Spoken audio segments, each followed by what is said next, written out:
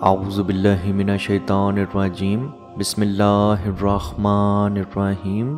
السلام علیکم ورحمۃ اللہ وبرکاتہ۔ ونعمتہ ومغفراتہ وجنت الحلالہ ودوزخت الحرامہ۔ ٹرو اسلامک انفو کی طرف سے میں آپ سب لوگوں کو خوش آمدید کہتا ہوں۔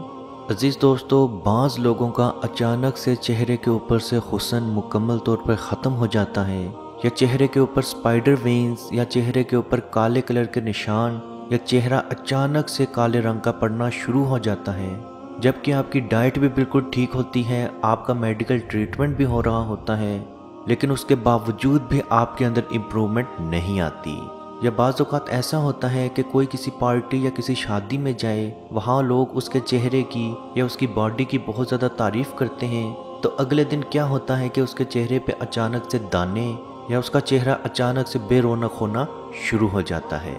عزیز دوستو، یہ آج کی ویڈیو خصوصی طور پر اسی ٹاپک پہ بنائی گئی ہے اگر آپ کے چہرے کی رونق اچانک سے ختم ہونا شروع ہو چکی ہیں، یا آپ کے چہرے پر نشان یا سپائڈر وینز آ چکی ہیں، جبکہ میڈیکل رپورٹس تو آپ کی بالکل کلیئر ہیں اور علاج کروانے کے باوجود بھی آپ پہ اثر نہیں ہو رہا، تو یاد رکھیں یہ نظر بد کی تاثیر ہو سکتی ہے۔ نظر بد کی تاثیر کی کچھ نشانیاں ہیں۔ اگر آپ میں یہ نشانیاں موجود ہوں، تو آپ سمجھ جائیں کہ آپ کے چہرے پہ آپ کے جسم پہ نظر بد موجود ہے۔ حضرت ام سلمہ رضی اللہ تعالی عنہ سے روایت ہے کہ آپ صلی اللہ علیہ وآلہ وسلم نے ایک لڑکی کے چہرے پہ کالے یا پیلے رنگ کا نشان دیکھا۔ تو آپ صلی اللہ علیہ وآلہ وسلم نے فرمایا، اس بچی پہ نظر بد کا اثر ہے، اس پہ دم کرو۔ حضرت علی رضی اللہ تعالی عنہ کا کول ہے کہ اگر کسی شخص کا رنگ اچانک سے زرد مائل پڑ جائے، اچانک سے پیلے رنگ کا پڑ جائے تو آپ سمجھ جاؤ کہ اس پہ نظر بد کا اثر موجود ہے۔ حضرت اسما بنت امیس رضی اللہ تعالی عنہ نے آپ صلی اللہ علیہ وآلہ وسلم سے گزارش کی کہ بنو جعفر کو نظر بد لگ جاتی ہے تو کیا ان پہ دم کر سکتی ہیں؟ تو آپ صلی اللہ علیہ وآلہ وسلم نے فرمایا ہاں اور ان کی کمزوری کی وجہ نظر بد ہے، اور اگر تقدیر سے کوئی چیز سبقت لے کے جانے والی ہوتی تو وہ نظر بد ہوتی۔ عزیز دوستو، یاد رکھیں، اگر آپ کے چہرے پہ اچانک سے نشان آ جانا، یا آپ کا چہرہ پیلے رنگ کا پڑ جانا، یا کالے یا پیلے رنگ کے نشان آ جانا اچانک سے، تو یہ نظر بد کی پہچان ہو سکتی ہے۔ بعض اوقات آپ کا چہرہ اچانک سے بہت زیادہ کمزور ہونا شروع ہو جاتا ہے، جب بعض اوقات آپ کا چہرہ حد سے زیادہ موٹا ہونا شروع ہو جاتا ہے۔ بعض اوقات آپ کے چہرے کی آنکھوں کے نیچے اچانک سے ہلکے پڑنا شروع ہو جاتے ہیں، جبکہ آپ کی پانی کی ڈائٹ یا آپ کی نیند مکمل طور پہ پوری ہوتی ہے۔ جب بعض اوقات آپ کے چہرے پہ اچانک سے وینز نظر آ جانا، جن کو ہم سپائڈر وینز بھی کہتے ہیں، تو عزیز دوستو، اگر وہ میڈیکل ٹریٹمنٹ کے باوجود بھی ختم نہ ہوں تو آپ سمجھ جائیں کہ یہ نظر بد کی نشانی ہے۔ عزیز دوستو، اگر آپ کے چہرے پہ یہ علامات یا آپ کی باڈی میں یہ علامات موجود ہیں، تو آپ یہ علاج ضرور کریں۔ عمل کچھ اس طرح ہے کہ آپ نے صبح اٹھتے ساتھ یا رات سونے سے پہلے، اگر آپ چاہیں تو صبح اٹھتے ساتھ اور رات سونے سے پہلے دونوں دفعہ یہ عمل کر سکتے ہیں۔ آپ نے ارکے گلاب لینا ہے اور اپنی ہتھیلی پہ رکھ کے اس ارکے گلاب کے اوپر سات مرتبہ سور فاتحہ سات مرتبہ سور القلم آیت نمبر 51 ون و ایا کا دلہ زینہ کافرو لیوزلی کون کا بھی ابسارہم لما سامی و ذکر و یقولون مجنون یہ آپ نے سات مرتبہ آیت پڑھنی ہے اور سات مرتبہ بسم اللہ ارکی کا من کل شیئن یوزی کا من حاسدی حاسدن و کلی عین اللہ یشفی کا سات مرتبہ یہ آیت پڑھ کے سات مرتبہ آپ نے سور فلق اور سور ناز کی تلاوت کرنی ہے۔ یہ تلاوت کرنے کے بعد آپ نے اس ارکے گلاب کو اپنے چہرے پہ مل لینا ہے اور آپ نے ملنا اس طریقے سے ہے کہ آپ نے ایک چھوٹی سی کاٹن کا پیس لینا ہے یعنی کہ روئی کا چھوٹا سا ٹکڑا لینا ہے اور اس کے اوپر وہ ارکے گلاب لگا کے اپنے چہرے پہ ہلکے ہلکی طریقے سے آپ نے مساج کرنی ہے۔ اور مساج کرتے ہوئے آپ نے سور القلم کی آیت نمبر 51 کو پڑھتے رہنا ہے۔ انشاءاللہ بحکم خدا آپ کو کسی بھی میڈیسن کی، کسی بھی ٹریٹمنٹ کی، کسی بھی کریم کی ضرورت نہیں پڑے گی۔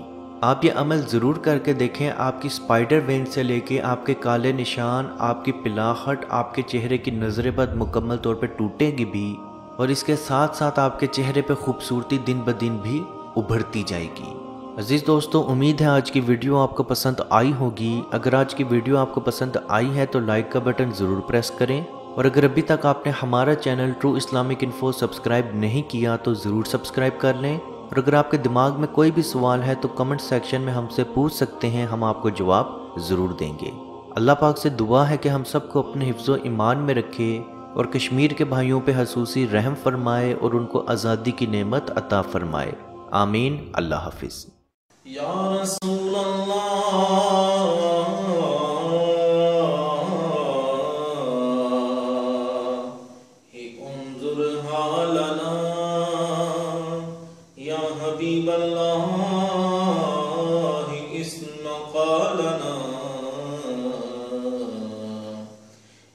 اننی فی بحر غم مغرق حزیدی سہل لنا اشقالنا. اے مالک و مولا، کریم آقا صلی اللہ تعالی علیہ وسلم کے توسل کے ساتھ، اے مالک ہمارے اٹھے ہوئے ان گندے ہاتھوں کی طرف نہ دیکھ۔ مالک اپنا رحم اور اپنا کرم فرما، مقبوضہ کشمیر کے مسلمانوں کو آزادی کی نعمت سے مالا مال فرما۔ اے اللہ، اس حال کے اندر جبکہ ان پر ظلم و ستم ہو رہے ہیں، اس قدر ان پر مسائب اور علام ہیں۔ اے مالک و مولا، اس ماہ مقدس کی مقدس گھڑیوں کا صدقہ۔ اے اللہ، کشمیر کے مسلمانوں کو آزادی کی نعمت سے مالا مال فرما۔